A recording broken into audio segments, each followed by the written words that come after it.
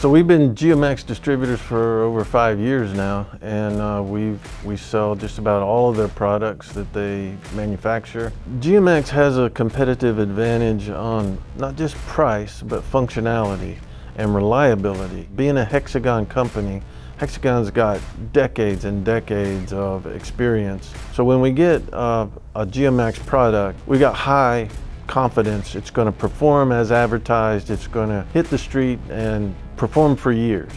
So XPAD, just like um, other survey control software, it provides control for um, your GPS receivers, GNSS units, all the way down through sort of conventional total station.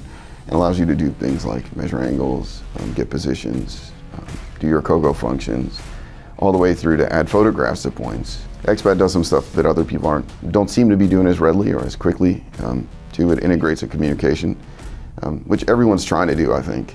XPAD seems to have it down where you can communicate pretty well between the field and the office. That's pretty streamlined. I think having software that's reliable and predictable and works when you want it to work, to me, like the key seller.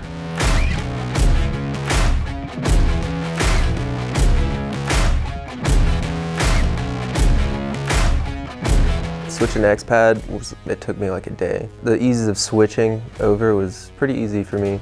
XPAD and like the GeoMax products that I'm using now cut my time for surveying a project you know, like by a third. Especially in North Georgia, we got a lot of mountains, so flying a drone and staying in range of the sensor is challenging because there's trees, just like one random tall tree will be in the flight line and you have to get over it or around it without sacrificing the accuracies of your data. Number one challenge is definitely flying that drone safely as possible.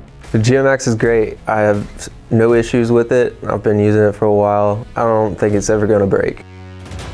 Something applicable, I think, uh, would be that uh, buying survey technology requires a relationship. GeoMax is all about relationships. We, we are on first name basis with the president of the company. And building that relationship, that trust, that's what GeoMax is about.